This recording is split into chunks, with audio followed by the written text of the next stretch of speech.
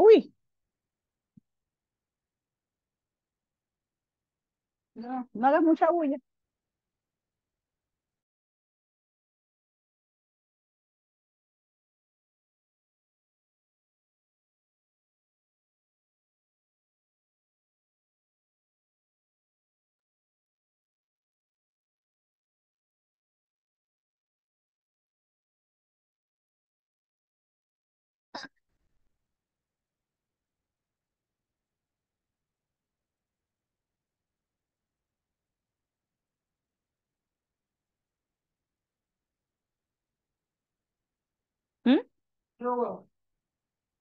Yo termino en una hora.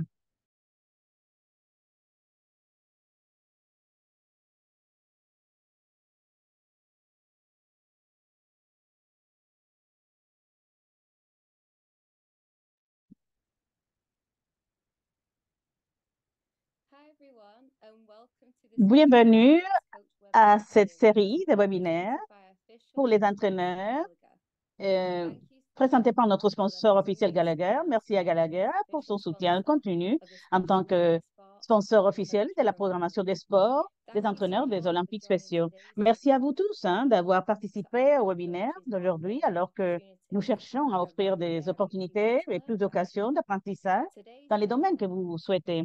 Le webinaire d'aujourd'hui porte sur l'entraînement des athlètes MATP, MATP ou programme d'entraînement aux activités motrices et notre programme de sport sensoriel basé sur le mouvement des Special, Special Olympics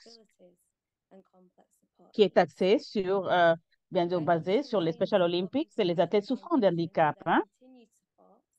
Merci à la Fondation qui nous soutient et notre programme MATP.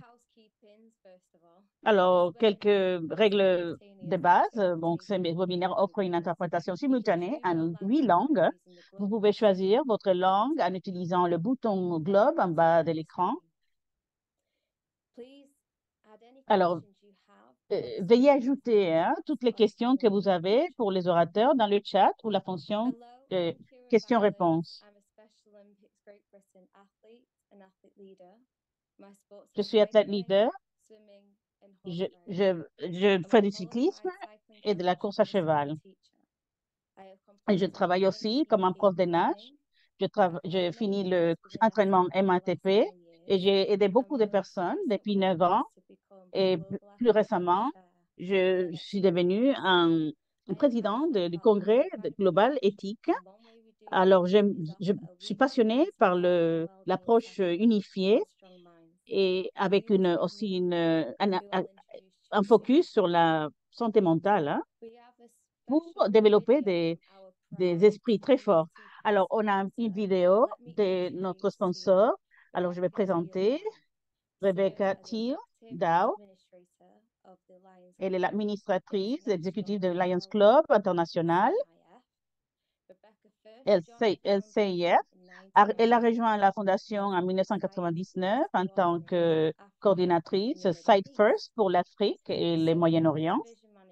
Elle a occupé le poste de chef de division de la LCIF depuis 2006 et a été promue agent administratif en juillet 2014. Avant de rejoindre la LCIF, Rebecca a servi au sein de, la, Peace Corps. hein. Euh, elle a un titulaire euh, de une licence en sociologie de l'Université urbaine de Champagne et une maîtrise en service public de l'Université d'Epaul. Rebecca est membre du club Lions Club de Burr Ridge, hein, Hinsdale et Oak Brook, où elle a précédemment euh, occupé les postes de présidente, vice-présidente et secrétaire. Rebecca réside à Wheaton, Illinois, avec son mari et ses deux enfants. Elle fait également du bénévolat auprès de son église et de l'association des parents d'élèves. Alors, on va voir la vidéo.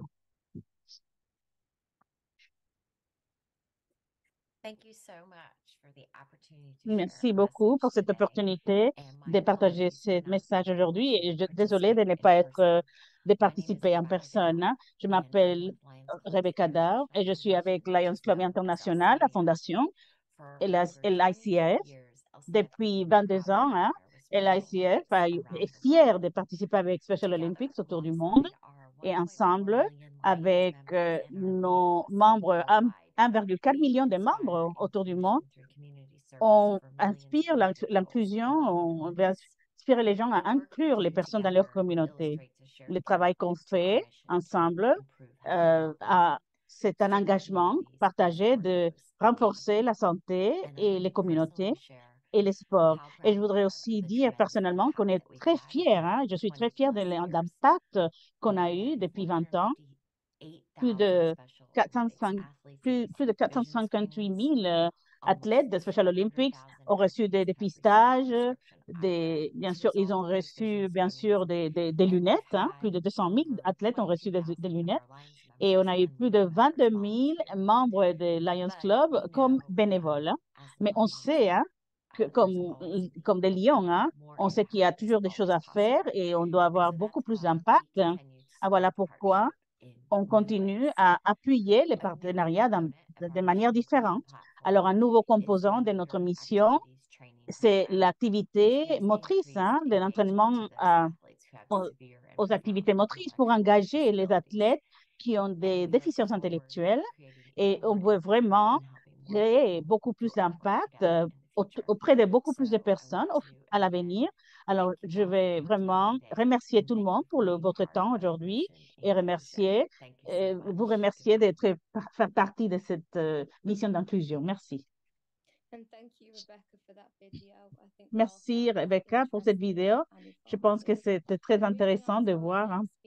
Alors, euh, notre prochain orateur, ma, ma collègue, Nia Morton, elle est spécialiste du mouvement inclusif et adapté, chercheuse, conférencière, conceptrice, conceptrice des ressources et partisane de longue, date hein, des Jeux olympiques spéciaux. Elle est la nouvelle gestionnaire principale du programme d'entraînement moteur hein, des Jeux olympiques, MITP. Elle a 12 ans d'expérience dans les bénévolats et la direction des MATP au, au niveau local, national et international. Elle a formé plus de 4500 personnes en, MATP dans 20, pays hein, avec les programmes des Special Olympics et continue de plaider et de permettre les partenariats MATP dans les domaines du sport et de l'éducation et de la santé. Elle travaille actuellement à la création de nouvelles ressources MATP et des matériels de formation mondiale sur mesure qui permettront pour mettre aux régions et au programme Special Olympics de prendre le devant de leur croissance MATP localement. Merci et bienvenue, Niam. Merci, Kara. Voilà, je suis contente d'être dans un webinaire avec toi. Et, et, merci à tout le monde. Je suis tellement contente d'être ici et, de faire, de, faire le coaching euh, et l'entraînement pour les athlètes MATP. Ah, merci, Kéa, pour cette, euh, pour cette euh, présentation. Et je suis vraiment passionnée de MATP et, et aussi de faire, euh, de m'assurer que les athlètes au niveau global sont prêts hein, et s'assurer qu'on fournit des services de haute qualité pour les, avec des personnes avec des déficiences intellectuelles et des problèmes complexes. Alors voilà, il y a la le MATP, c'est un programme d'entraînement d'activités aux activités motrices. Hein. et c'est spécifiquement pour les athlètes qui ont des, des, des, déficiences profondes ou sévères hein, ou complexes. Hein. Et je vais vraiment souligner ça et voilà, souligner euh, ces mots spécifiques. Alors, c'est un mouvement de, Special Olympics basé sur les activités motrices c'est notre devoir, donc, de, euh, globalement, hein, de soutenir euh, ce type euh, donc, d'entraînement. il, y a y a peu d'organisations qui ont des programmes comme celui-ci. Et voilà, c'est un de, de, de, un de rares programmes à utiliser et, et, approfondir là-dessus, et surtout pour les sports de haute, de haute qualité hein, ou, des, ou des, des, sports, des sports assez euh, chevronné. Donc, euh, on, fournit une plateforme pour, s'assurer que les personnes avec des déficiences sont couvertes et que leurs coachs, les entraîneurs aussi aient l'entraînement disponible. Hein.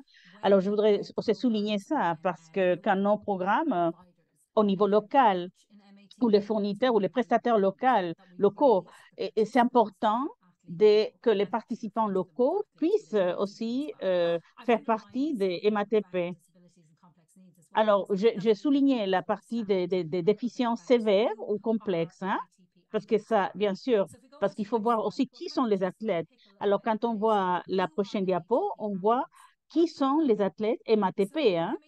Euh, alors, les athlètes, qui suivent cet entraînement aux activités motrices, ce sont des personnes qui ont des, déficiences intellectuelles profondes ou complexes. Hein. Et c'est très important de comprendre ceci parce que je vais toujours parler des athlètes, hein. des athlètes qui ont besoin de beaucoup de soutien, des athlètes qui sont vulnérables, des athlètes qui sont, font partie du mouvement mondial, et qui ont des, besoins très, très élevés. Hein.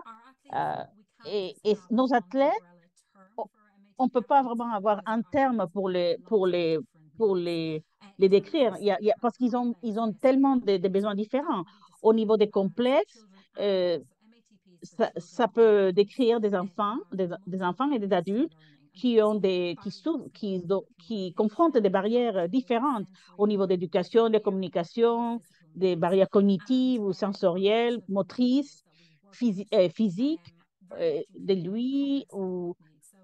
Donc, ils ont besoin de ces, soutiens complexes hein, et complets.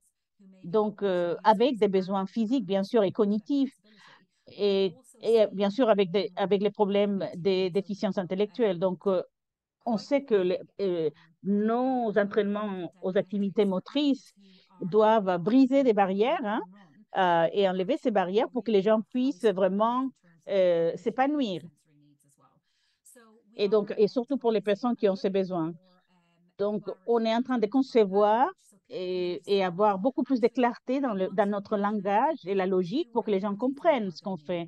Mais on voulait que les gens comprennent qui sont les athlètes. Euh, alors, mais il faut jeter un coup d'œil sur nos ressources hein, pour vous aider à vous engager, à vous engager avec ces athlètes. Et la MATP, c'est très important de parler, de, savoir qui sont ces athlètes, de comprendre l'entraînement. Et aussi, je, vais mentionner aussi qu'on on est en train de redévelopper des ressources, hein, de, de, repenser certaines ressources hein, pour nos entraînements, entraîneurs, pour les partenaires unifiés. C'est quelque chose de, de, très épatant pour nous, hein, de, pouvoir redésigner, reconcevoir beaucoup de choses. Donc, euh, voilà, pensez aux athlètes, pensez à vous aussi, hein, comment vous pouvez participer. Hein. Alors, l'entraînement qu'on fournit hein, pour les athlètes MATP, c'est c'est vraiment c'est le, personnel d'appui hein, qui travaille. Ça peut être des étudiants, ça peut être des enseignants qui, qui, qui, qui apprennent aux adultes et, et, à des personnes qui ont des déficiences complexes. Ça peut être aussi des membres de la famille, hein, qui, qui, qui, ça peut être aussi des entraîneurs, des sportifs ou des organisations. Ça peut être des, entraîneurs des, clubs de Special Olympics ou des athlètes leaders ou des jeunes leaders, des athlètes. Alors, MATP et ses entraînements aux activités motrices sont pour tout le monde. Hein. Mais c'est important de comprendre que nos athlètes MATP, à cause de leurs besoins si élevés, souvent, ils ont l'appui des personnes qui sont juste là avec eux, hein, que ce soit le personnel ou la, famille. Ils ne sont jamais tout seuls. Hein. Donc, euh, les entraîneurs sont là, ils travaillent main de la main avec eux et on voit vraiment les MATP comme euh, un partenariat hein, où on travaille avec l'athlète et avec euh, les personnels et avec la famille et la communauté. Voilà. Donc, c'est important de souligner et comprendre qui sont les athlètes MATP ou, les entraîneurs aux activités motrices. Alors, les prochaines diapos, on va parler de comment MATP nous aide hein, et comment ça peut aider tout le monde. Hein? C'est vraiment pour tout le monde, hein? pour tous les âges, pour tout, à tous les niveaux. Et c'est important de, souligner ça parce que ça nous donne comme organisation une manière de, euh, maintenir notre intégrité, notre dignité. Voilà pourquoi on est passionné de, ces activités, de ces entraînements aux, activités motrices. On travaille aussi avec d'autres organisations qui fournissent les meilleures euh, expériences sportives sensorielles et motrices. Hein. Voilà, donc euh, il faut penser, alors, qu'est-ce, quelles opportunités significatives au niveau sportif sont disponibles à, euh, à ce moment pour les personnes avec des déficiences ou intellectuelles ou des problèmes complexes. Qu'est-ce qui est disponible là, là chez vous? Euh, des exercices, que ce soit des exercices physiques, que ce soit des opportunités sportives. Qu'est-ce qui est disponible chez vous? Voilà pourquoi je le dis. Je le dis parce que, parce que c'est un mouvement, c'est un programme basé sur un mouvement. Et, et donc, euh, et on met les Special Olympics euh, voilà, comme, comme mouvement, hein, pour, pour qu'il y ait une structure, pour que les gens puissent euh, appartenir à une structure. Alors, en ce qui concerne les opportunités significatives, voilà, ça nous donne l'opportunité de nous entraîner à faire quelque chose, de, aussi de, de présenter les compétences des personnes et, les améliorer. Alors, qu'est-ce que qu'est-ce que c'est significatif pour une personne qui a une déficience? Voilà, il faut créer une relation avec les personnes qui ont des déficiences pour qu'ils deviennent des athlètes. On peut, il faut penser à nous tous. Hein? C'est un programme unique et il faut considérer, bien sûr, les athlètes et pensez, pensez-y, hein? parce qu'il y a des gens qui, qui font des, de la hydrothérapie. Il y a, parfois, il y a des personnes qui sont, euh, qui sont en train de faire des, des, entraînements physiques. Ils font, par exemple, de la voile pour les personnes euh, avec, des, avec handicap. Il y, a, beaucoup de choses qui sont déjà disponibles là-dehors, hein? mais il faut les trouver. Hein?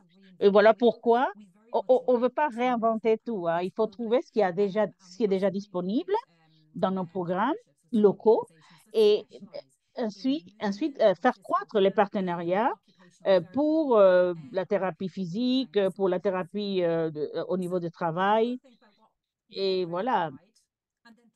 Alors, il faut penser à ce que vous, déjà, vous avez déjà sur place et voir les opportunités qu'on peut créer. Qu'est-ce qu'on peut, qu'est-ce dont on a besoin pour être un entraîneur complet pour aider les personnes avec handicap? Est-ce que les personnes ont besoin de de, une aide partielle ou, ou complète? Alors, voilà, à quoi ça a l'air pour un athlète, pour un athlète? Alors, quand les gens s'appellent, quand ils s'appellent athlètes, ce sont des personnes qui s'engagent. Donc voilà, il faut voir les potentiels des MATP, de ces entraînements aux activités motrices. S'il y a déjà quelque chose sur place, on peut l'intégrer, on peut intégrer et par exemple, s'il y a des activités euh, au niveau des mouvements ou physiques ou des exercices, on peut intégrer ça dans notre programme MITP. Si ce n'est pas euh, présent sur place, donc MITP va vous, donc, vous fournir euh, les, les éléments pour pouvoir intégrer donc, ça dans votre communauté. Voilà, on va parler ensuite de, de qu'est-ce que c'est que MITP. Alors, alors c'est un programme en continu, hein, est conçu spécifiquement pour les athlètes avec des, avec des déficiences multiples profondes pour qu'ils puissent participer dans des, dans des sports moteurs ou sensoriels. Et, mais, mais il y a aussi l'activité physique pour les enfants et, et avec les, les, personnes avec des, des handicaps sérieux. Hein. Et donc, ça nous donne l'activité physique mais c'est important aussi de voir euh, que c'est ça à voir avec les sports. Hein? Et voilà, c'est sportif. Et c'est notre euh, offre sportive pour les personnes avec handicap. Et voilà, ça nous donne l'opportunité donc d'offrir ça à tout le monde. Hein? Ce qui est fait ce qui fait MATP euh, unique, c'est qu'on a beaucoup de ressources. On a l'entraînement, on, a, on peut l'intégrer dans vos programmes, on peut l'intégrer dans la communauté, dans les écoles, mais ce qui nous fait vraiment unique, c'est vraiment les, les challenges, hein, c'est les défis MATP. Hein. euh, c'est une opportunité pour nos athlètes euh, de, de, de montrer hein, comment cette compétence sportive euh, peut être célébrée et peut être montrée hein, auprès de la communauté. Hein. Alors, je parle constamment de comment on, on doit ré, réencadrer la compétition, hein, reformuler tout ça. À quoi ça a l'air pour les personnes qui ont une, une, un handicap ou une déficience? Alors voilà, parfois il y a des gens qui n'ont pas la, la, parfois il y a des gens qui n'ont pas la capacité de comprendre les, les règles, mais, mais la compétition peut être avec soi-même. Hein? Et, on va fournir un chemin vers la compétition pour que les gens aient l'opportunité de venir un jour de défi, un challenge day, et présenter donc euh, leur euh, succès. Et, voilà, on va montrer une vidéo dans quelques minutes, et, mais c'est important de, de, souligner ceci. Hein. Je veux que vous pensiez, vous, en regardant cette vidéo, quel est l'impact de ces activités, de ces entraînements euh, aux activités motrices, l'impact sur l'appui la, euh, ou les, les personnels d'appui ou les enseignants. Et quel est l'impact de MATP sur les familles dans cette vidéo, vous le verrez. Et ensuite, on aura bien sûr cette idée beaucoup plus profonde et beaucoup plus euh, étendue de pourquoi MATP est, est important et pourquoi on doit l'intégrer. Et et voilà, et de pouvoir partager la logique de MATP. Hein. Alors, je vais montrer la vidéo maintenant. De, va parler des parcours, un parcours spécifique hein, dans ces activités ou entraînement moteur. Hein. Vous allez voir l'entraînement, vous allez voir le contexte, le, dans un contexte scolaire. Vous allez voir comment ils travaillent dans le week-end ou dans la semaine et l'opportunité qu'ils ont de présenter ce qu'ils ont appris dans des jeux nationaux. Et c'est un exemple euh, vraiment euh, de la Grande-Bretagne. Hein. Alors, concentrez-vous sur ce que les gens apprennent, comment les entraîneurs entraînent les personnes et, les challenge days, hein, les jours des défis et des compétitions, et comment les familles, les familles réagissent et comment les, les, les staffs, les personnels d'appui aussi réagissent. Hein. Euh, alors, alors, profitez de la vidéo et ensuite on aura des questions et mettez dans le, la chat box ce que vous, pensez, ce que vous en pensez hein, de la vidéo. Et voilà, merci. Alors, activité motrice, programme d'entraînement aux activités motrices. Alors, alors Jackson a 9 parce que disent, je ne veux pas entendre dire qu'il ne peut pas faire certaines choses parce que je sais qu'il y a des choses qui ne sont pas possibles. Mais on essaie d'aller au-delà des barrières hein, et les encourager à faire ce qu'il peut faire, hein, ce qu'il peut réussir à faire. Quand j'ai entendu parler des, des, Olympiques spéciaux, je savais qu'il pouvait le faire. Alors, quand j'ai commencé au, dé, au départ, ça, m'a vraiment épaté. Hein. C'est vraiment, ça m'a surpris et je suis très fière de lui. Et est vraiment unique. Hein. C'est recadré parce qu'ils appuient les personnels, les étudiants, avec euh, de l'éducation physique de haut niveau. Hein. On travaille dans, bien sûr avec des activités. Et on voit les activités motrices dont ils ont besoin et on leur apprend donc ces compétences. La plupart des programmes des entraînements MATP, ce sont des personnes avec des besoins complexes. C'est spécifique au sport, mais, la plupart des MATP deviennent des athlètes et ils représentent bien sûr le, leur club et leur région. Et ils peuvent aller dans les Challenge Day, les jours, les jours de compétition, de défis. Alors, pour dire que j'ai entendu dire qu'ils partaient à Sheffield et pour une compétition et j'étais tellement épatée d'entendre ça. Ce qui est important avec ces événements, c'est la visibilité. Hein? On est en train de montrer que ces personnes ont le droit d'avoir accès au mouvement et à la, la stimulation sensorielle et motrice, émotionnelle, le développement émotionnel. Il ne s'agit pas de, de, gagner ou de perdre. Hein? Il s'agit aussi de développer des compétences spécifiques hein, et on peut les transférer aussi au cadre du foyer, hein, de la famille. Et ça développe un peu, on peut développer de l'indépendance aussi, hein, établir ça. Alors, même pour les enfants qui n'ont pas l'habilité cognitive de comprendre tout ce qui se passe, hein, seulement d'être, pour être humain, hein, le fait d'être, c'est bien pour euh, la confiance en soi, ça, fournit une expérience sensorielle, émotionnelle, voilà, et ils sont appuyés. Alors, ce programme MATP, c'est tout un parcours, hein, c'est massif, c'est grand, hein, et être là pour être témoin de, ça, c'est merveilleux. Les applaudir, les célébrer, c'est merveilleux. Voilà, pour voir là où ils étaient et là où ils, sont arrivés, c'est quelque chose de nouveau pour nous, hein, parce que c'est un programme où ils peuvent s'entraîner toutes les semaines et à, et à chaque semaine, ils, voilà, ils, ils ont des jalons, hein, et des choses qu'ils ont surmontées. Mais alors, mais célébrer nos enfants, ça a été magique pour nous. Hein? On est tellement fiers de lui, de ce garçon, on est vraiment fiers. C'est, c'est génial que MATP, euh, ça, ça aide les enfants et surtout les, les enseignants de montrer aux parents que, que les personnes peuvent améliorer et leurs enfants peuvent améliorer. Et je sais que c'est c'est d'apprendre de nouvelles compétences, habilités. Au départ, il ne pouvait même pas marcher quand il a commencé l'école. Et là, maintenant, voilà, on est, on est très content euh, de savoir qu'il va pouvoir marcher un petit peu. Il y a beaucoup d'optimisme.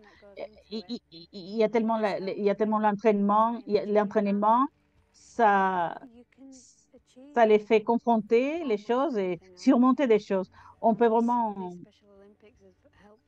réussir n'importe quoi. Hein.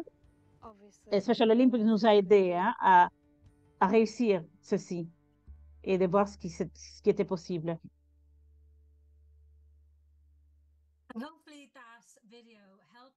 Alors, alors cette vidéo nous, ça, ça, on voit le dynamisme de MATP grâce à cette vidéo. Hein. J'ai vu cette vidéo tellement de fois mais à chaque fois, je, deviens très émotionnelle hein, parce que c'est exactement ce qu'on doit faire. Euh, travailler pour que tout le monde puisse avoir l'opportunité d'avoir MTP. Alors, mettez dans le chat box ce que vous en pensez sur la vidéo. Et voilà, à chaque fois, hein, ça, ça met, je suis plein d'émotions à chaque fois que je vois ça, mais mais c'est quelque chose, euh, j'ai vu un message sur les opportunités pour l'entraînement en MATP et on va, et on va bien sûr euh, partager ça après. Hein? Et on veut on veut vraiment, tout le monde ait accès à MATP, hein? parce que c'est vraiment, c'est vraiment un partenariat. Vous avez, vu qu'il y avait des, des, enseignants, des, membres de la famille, les, coachs, les entraîneurs, les, les athlètes leaders, tout le monde était là et tout le monde devrait pouvoir avoir accès à ce genre d'entraînement et trouver des futurs euh, athlètes MATP pour leur donner cette opportunité. Alors, je, je dois, je, dois, je parle de ces, de ces défis. Hein.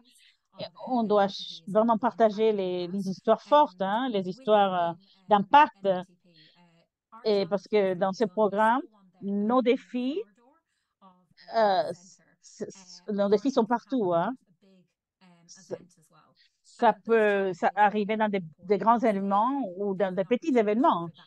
C'est pas grave, mais, mais, ce sont des opportunités qui doivent être célébrées, les petites et les grandes. Hein. Et parfois les, parfois, les gens qui ont ces déficiences n'ont pas ces opportunités. J'ai fait beaucoup des entraînements locaux au niveau national ou international et un des, commentaires les plus grands qu'on trouve, c'est que, parce que je parle aux personnes hein, qui sont là, je parle avec, les, avec les coachs, les familles et la communauté et aussi les personnels. Et une des choses, c'est l'émotion. Hein? dans ces Challenge Days, c'était la première opportunité pour qu'un athlète ait l'opportunité d'être célébré ou d'être fêté hein, dans ses réussites que, ou que les familles ont eu l'occasion de voir ce, qu'il est, ce, que, ce que cet athlète était, très, était capable de faire. Hein. Donc, ils sont en train de célébrer leur famille, euh, leurs membres de la famille. Et voilà pourquoi on doit vraiment doit faire croître ces mouvements et augmenter ces mouvements, pas seulement les activités d'entraînement ou les sessions sportives, mais aussi les challenge days, hein, euh, parce que parce que personne n'est en train de vraiment fournir ces genres d'opportunités. Hein. Voilà. Donc, euh, ces jours de défis et pour être reconnus comme ça. Ces journées de défis sont très importantes. Alors, d'autres types d'histoires que je vais partager. Et il y, y, y, a des athlètes fantastiques dans cette vidéo. Vous, avez vu la, photo dans la présentation? Ellie May, c'était une des athlètes qui, qui a fait MATP depuis bon, ses activités euh, motrices. Hein. Elle, représentait son école euh, au niveau, au, dans les Jeux nationaux. Elle était dans son, elle avait sa trousse hein, de, Special Olympics, euh, de régional. Elle, voilà, elle a, elle a fini, euh, elle, est, elle est venue dans la ligne d'arrivée, elle est arrivée et Ellie May, elle, elle a eu, euh, elle s'est vraiment amusée, sa famille était là, elles avaient des, elles avaient aussi euh, des documents avec, euh, avec, sa, avec son nom et ils ont célébré euh, sa famille. Hein. Elle a célébré, était célébrée comme membre de sa famille. Euh, et tous leurs ses frères et sœurs étaient, étaient là. Ils avaient des affiches avec son nom, avec ses photos. Donc, donc c'était les jours d'Alimé. C'est la, la journée à elle. Hein. Après, euh, après, alors, après quelques semaines, elle, elle, elle, elle est décédée. Hein? Donc, ça, c'était vraiment malheureux. Donc, quelques semaines après, elle est décédée, mais elle a eu son moment à elle. Hein? Et donc, c'est c'est bien d'avoir les athlètes euh, et qui puissent s'épanouir avec d'autres. Et l'impact de ces jours de défi, que ces jours de défi a eu sur sa famille, la famille d'Alimé. Et c'est malheureux parce qu'elle elle est, est, décédée juste après, hein, quelques semaines après. Mais voilà, mais c'était le, vraiment, c'était la réussite la plus grande. Hein. Elle voulait, il voulait, sa famille voulait qu'elle soit, qu'elle soit, qu'on se rappelle d'elle. Hein. Et, et donc, euh, elle a été rappelée. Et, ils ont fait, donc, ces médailles, euh, ces affiches sont là pour la, voilà, elle est, on se souvient d'elle pour, parce qu'elle est une championne. Donc, c'est important de, de partager cet impact pas, pas, seulement pour les athlètes, mais aussi pour la famille et la, et la communauté, pour les enseignants et aussi les, les, les, les personnels de, soutien. Alors, je pense que MATP, voilà, on comprend maintenant pourquoi c'est spécial. Je sais que je sais que vous allez venir avec moi et bien sûr euh, promouvoir ça au niveau global. Alors, en général, ça fait longtemps que je suis euh, entraîneur hein, et je voulais seulement être sûr qu'on puisse créer quelque chose qui pourrait être répliqué ou, euh, et, qu'on puisse croître euh, et augmenter, mais tout en, faisant ça de manière simple. Hein. Alors, euh, alors on, on se concentre sur la mobilité, la dextérité, et aussi, il faut, il faut aussi faire des coups de pied et il faut faire la nage et aussi, il faut frapper. Hein, il faut... alors, alors, la mobilité, c'est différent pour tous les, d'un athlète à un autre. Hein. Donc, quelqu'un qui a, il y a des gens qui ont, qui utilisent des choses, des, éléments manuels, d'autres utilisent, d'autres peuvent marcher, d'autres ne peuvent pas marcher. Alors, la mobilité, ce sont ces, ces habilités ou compétences motrices hein, pour utiliser le corps, de, de pouvoir utiliser son corps. Hein. Alors, et, ces gens, et ces, ces, ces, groupes de compétences sont très importantes. Hein.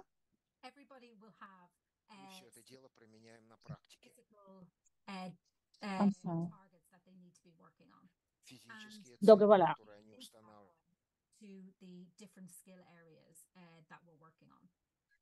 Voilà, pardon.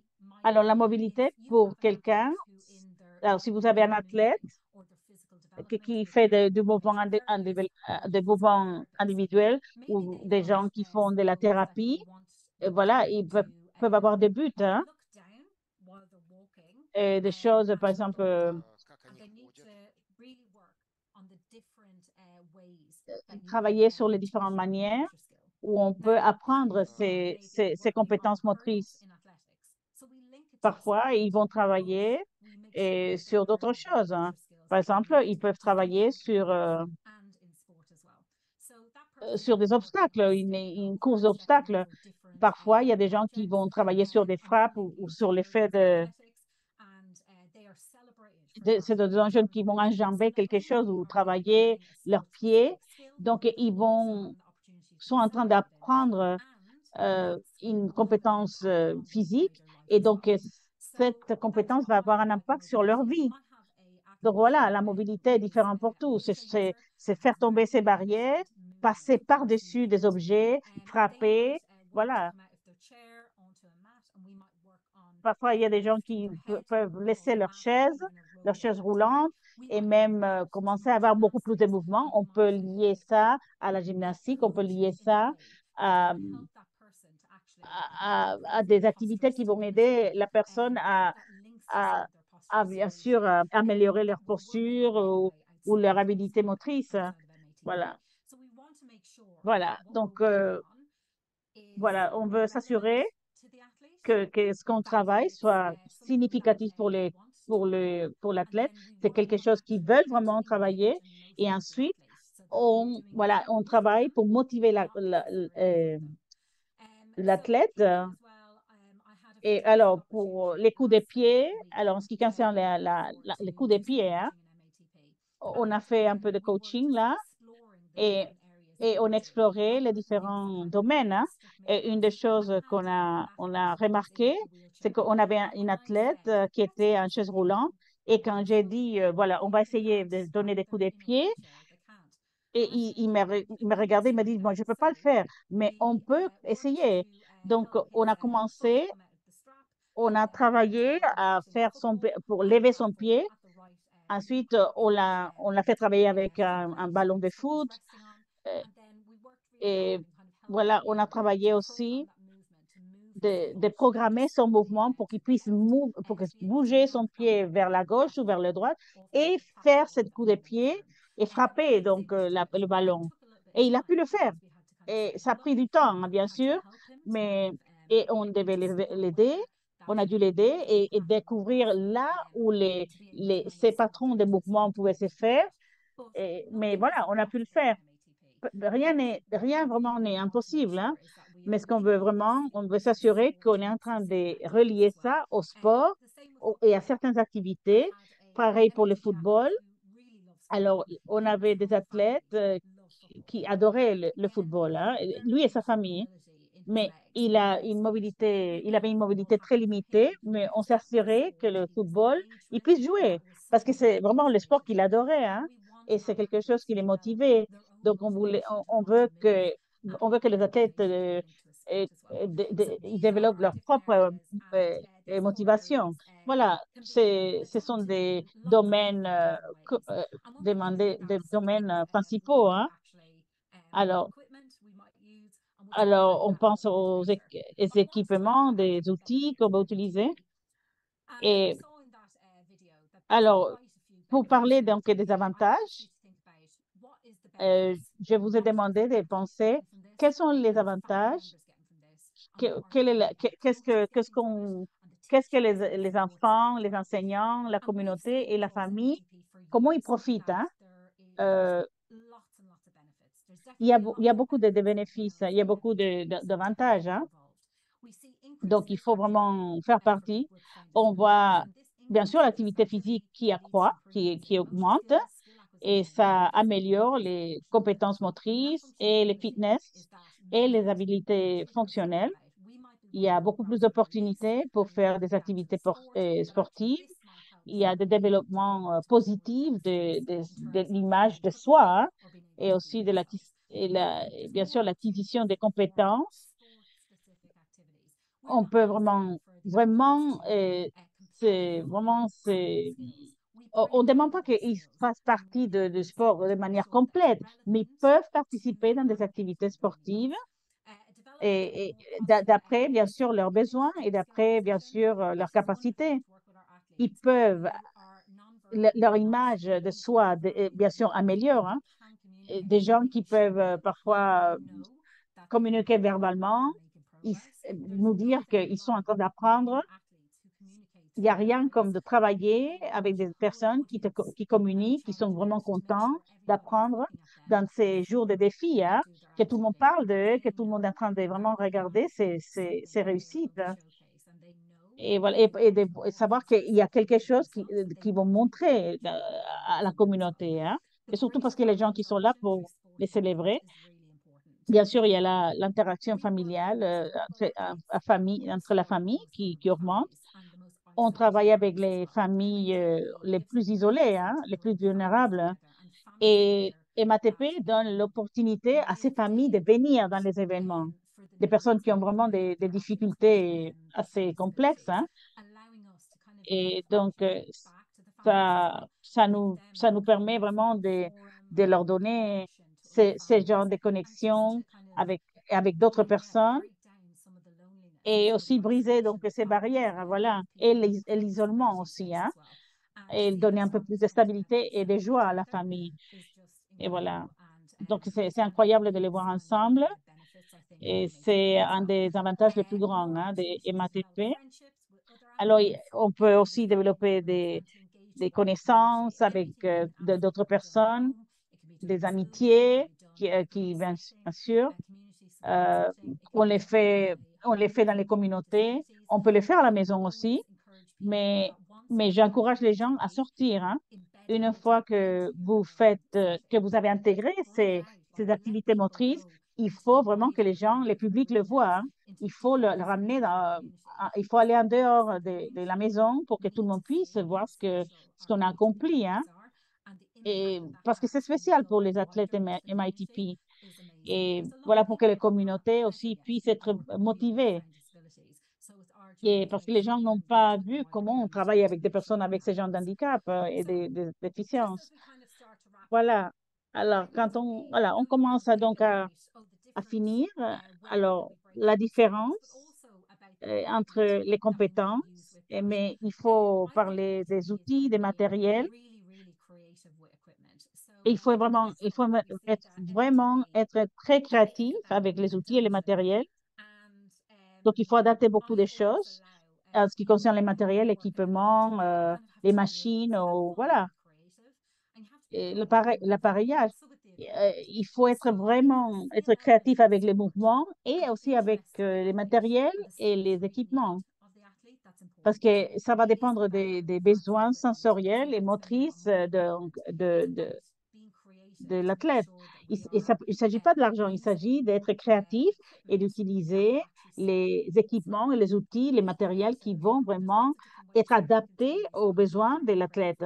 Donc, il faut être créatif. Voilà, on voit les photos ici. À gauche, on voit un de mes athlètes. Il n'a aucun mouvement en bas de, de, de, son cou, donc il utilise euh, euh, quelque, quelque, chose, euh, un outil, hein, euh, il est en train d'utiliser une rampe euh, ou une pente comme ça pour, euh, pouvoir, bouger, pour pouvoir bouger le ballon. Hein. Donc, il faut, voilà, donc il faut rester créatif. Donc, à, droite, on utilise un autre type, parfois ils utilisent des bretelles, des passerelles, des poteaux. Ça dépend hein, de, ce dont ils ont, besoin. Hein. Euh, donc, il faut faire les connexions. Parfois, il faut, parfois, il faut concevoir des technologies pour créer des, équipes, des équipements faits sur mesure. Parfois, hein, on doit créer. Et parfois, on adapte les équipes à, ces entraînements moteurs. Hein. Donc, euh, donc, on les montre toujours à la communauté pour qu'ils aient des idées. Alors, MATP, euh, il s'agit de ce que, en, premier, premièrement, il s'agit d'utiliser ce qu'on a déjà. En 2021, on a encouragé les personnes à travailler avec ce qu'ils avaient à la maison. Et, et ensuite, euh, et parce que comme ça, on peut le faire à la maison, hein, en adaptant ce qu'on a déjà. Hein. Euh, je me souviens d'avoir fait un entraînement dans une partie très rurale euh, de la Malaisie. Donc, on a, donc on a, on a ramené les, les, les rideaux, on a, on a fait des parachutes avec les rideaux, on a utilisé des pièces de papier, on a utilisé des rampes, des, des, poteaux. On peut adapter hein, le matériel qu'on a, mais une des choses les plus importantes, c'est de s'assurer que les athlètes qui est vraiment qui, est impliqué, que implique l'athlète la, dans les choix des outils. Et voilà, parce qu'on a, on a eu parfois, j'ai vu quelqu'un qui a pris les matériels, ils, ils, ont, ils, ils ont peint les matériels. Alors, quand, quand les gens participent dans la, préparation des, matériels, ils sont beaucoup plus motivés aussi. Hein? Donc, voilà. Alors, pour finir, en ce qui concerne les coaching et l'entraînement, alors, il faut parler de l'assistance euh, pour l'entraînement. Alors, c'est très important de comprendre qu'un athlète, on leur donne euh, l'assistance minimale hein, pour qu'ils puissent se développer dans ce sport. Et ça peut changer de, du, jour, au lendemain. Hein. Ça peut aller d'une grand, grande salle à une petite salle. Et on parlait de ça l'autre jour. Hein. Et c'est important de revoir ça parce qu'on parle des de niveaux. Hein. J'aime bien parler des niveaux hein, de, depuis la perspective d'entraîneur parce que c'est euh, un manque de, compréhension de, comment on travaille sur les, niveaux. On comprend les niveaux. Hein. On, comprend la différence pour chaque athlète, mais certaines personnes vont avoir une assistance complète dans un seul mouvement mais ils ont besoin d'une assistance partielle pour un autre type de mouvement. Voilà, il y en a certains qui vont être indépendants pour un type de compétence, mais ils auront besoin d'aide pour un autre type de compétence. Voilà, donc ça, il faut adapter les choses.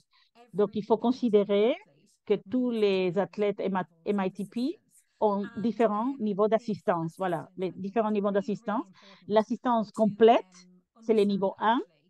Il faut comprendre que l'assistance complète peut être un outil d'entraînement très utile parce qu'on est en train de, vraiment de créer de, créer des mouvements passifs. Et parfois, quand on utilise ça comme un entraînement, un moment d'entraînement, on peut produire les, les, les programmes moteurs adéquats. Donc, utiliser ça comme un, outil d'entraînement, mais pas, pas vraiment comme...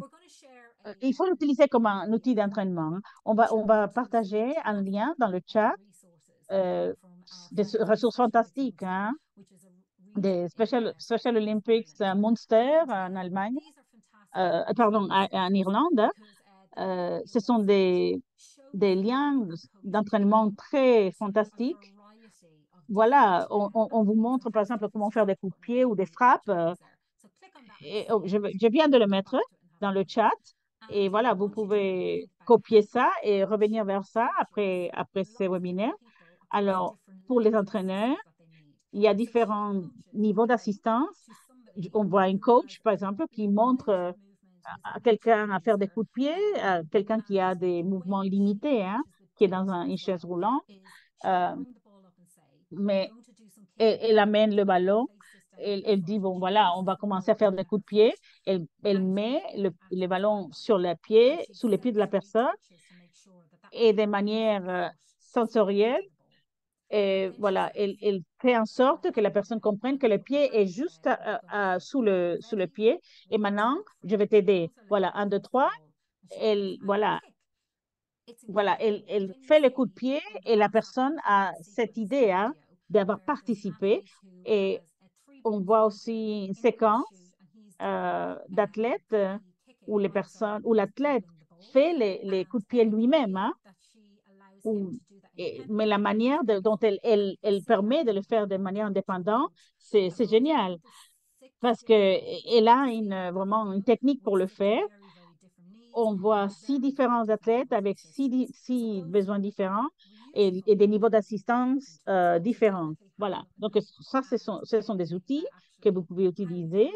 Euh, de comment, comme entraîneur, on peut utiliser ces idées et comme coach. Hein, voilà. Alors, on va passer à la, la, la séance questions-réponses. Et avant ça, je voudrais vous donner une action. Hein. J'espère que ça vous a inspiré et que vous êtes vraiment, vous voulez vraiment apprendre plus sur ces activités motrices et devenir un entraînement, un entraîneur et aider, nous aider à parler et, et, sensibiliser, sensibiliser les gens sur MITP. On voudrait vraiment que beaucoup plus de gens nous rejoignent qui, nous, qui nous rejoignent. Donc, euh, et pour pouvoir aider beaucoup plus de personnes avec les déficiences. Donc, euh, si vous pouvez participer, ça serait génial. On va faire aussi une, un petit, euh, euh, une enquête là. On, va passer à, un petit sondage à la fin hein, aussi. Hein.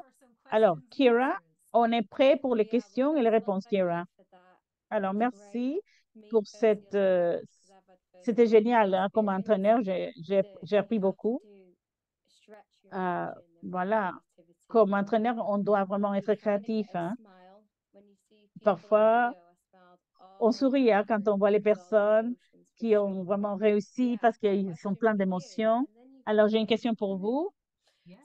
Et voilà, ma question pour toi, c'est est-ce que, alors, avec la relation avec les athlètes sont importants hein, et, dans ces activités. Alors, comment les entraîneurs peuvent créer une relation de confiance avec les athlètes? Euh, une, ça fait une grande partie de, de ça. C'est une grande partie, ça fait, c'est une grande partie de MITP, hein? de ces activités, des entraînements moteurs. Il faut, la communication est très importante. On ne peut pas euh, construire ou établir une relation si on n'est pas engagé avec la personne. Donc, il faut communiquer verbalement. Et comment eux, ils veulent communiquer avec, avec nous. La première fois que je l'ai fait, voilà, je, vous voyez que moi, je parle beaucoup. Hein? Donc, euh, donc, je parlais beaucoup au départ et j'attendais une réponse. Et donc, ça, ça pas venu verbalement. Hein? Donc, j'ai dû apprendre à communiquer et communiquer sans, sans des mots. Donc, voilà, quand on travaille avec des athlètes moteurs, parfois ils peuvent communiquer et parfois non. Et donc, il faut quand même réussir à le faire hein, avec d'autres, de, de, toutes les manières possibles. Hein avec les personnes avec euh, ces déficiences euh, complexes. Parfois, ils ne veulent pas participer dans des sports à cause de leur, leur handicap. Donc, il faut voilà, établir cette relation avec la personne et il faut autonomiser la personne à devenir un coach lui-même ou elle-même. Donc, il faut, il faut vraiment euh, établir cette relation et renforcer cette relation et les gens qui ont ces, ces déficiences assez complexes hein, et c'est sévère, quand on développe, quand on est en train de développer donc ces, ces ressources, il faut des conseils, des comment, euh, comment établir euh, ces, ces, relations avec ces athlètes euh, avec des, des déficiences euh, sévères. Euh, il y a, on a besoin parfois d'interactions intensives, surtout quand il y a des besoins sensoriels il faut, il faut construire donc ces relations et avec l'interaction intensive. Et cette interaction intensive est vraiment les types de communication dont on a besoin à ce moment-là, mais ça peut changer.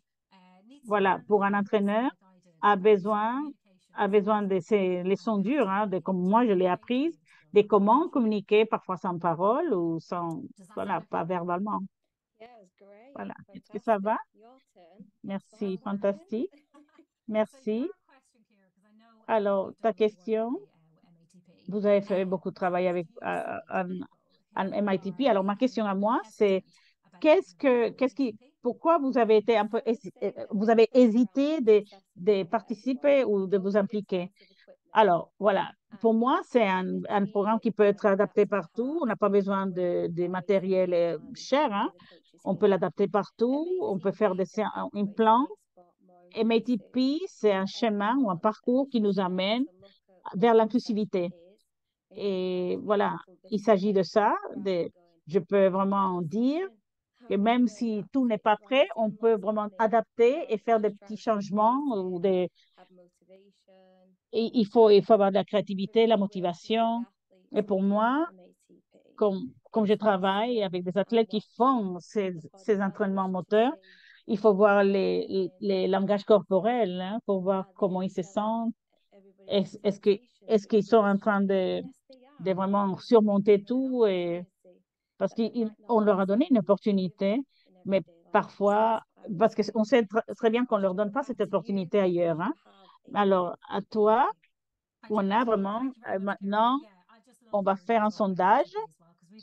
Alors, on a eu des expériences merveilleuses. On va faire un petit sondage qui a fait beaucoup de travail avec euh, les MITP dans son approche unifiée.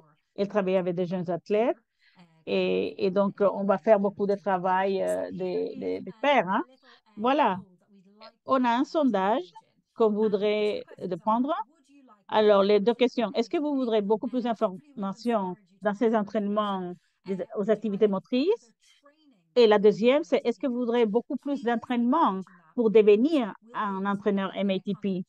Voilà, oui ou non. Et comme ça, on pourra s'engager avec vous directement et vous se communiquer avec vous et vous donner beaucoup plus d'informations.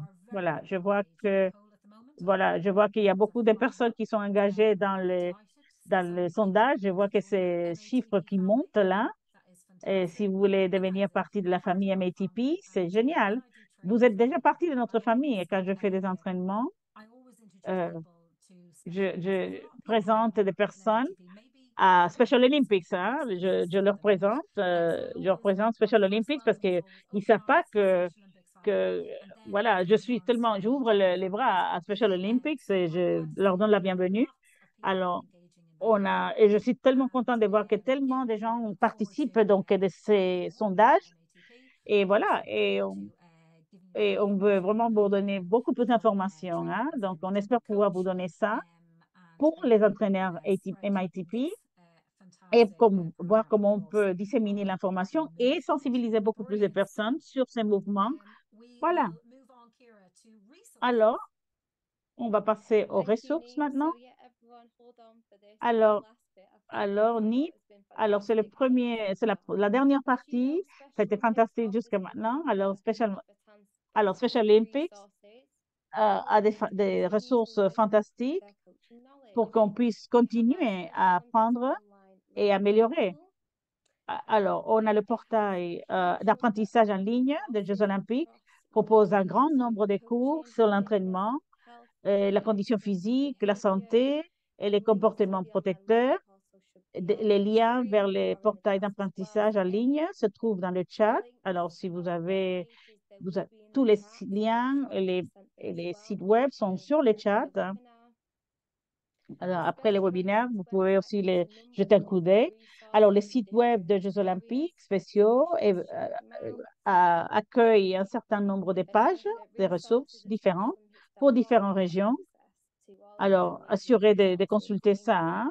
Alors, alors, MATP, la page MATP, des ressources MATP. Alors, toutes ces pages pour vous aider dans votre entraînement des athlètes des Jeux olympiques spéciaux. Hein. Alors, ça, c'est les pages de ressources. Hein. Alors, on a les on a les tableaux de bord aussi, hein, on l'utilise de, nouveau. Hein. Donc, euh, ça peut, les entraîneurs peuvent interagir, peuvent euh, poser des questions, parler avec des hosts. On peut trouver aussi des diapositives, des webinaires.